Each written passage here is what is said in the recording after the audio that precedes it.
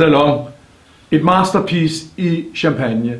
En champagne for de få. En meget, meget, meget sjælden champagne, som laves i Le Menil Zurger, naturligvis på Chardonnay-druen.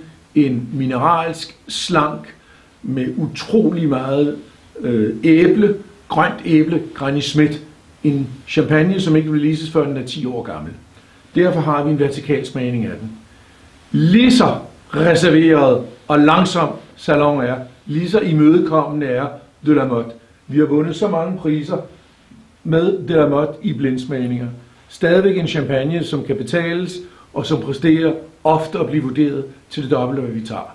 Kommer vi med til en enestående mulighed for at stifte bekendtskab med salon, som normalt er forbeholdt de få, men i aften er forbeholdt jer, der har lyst. Skynd jer!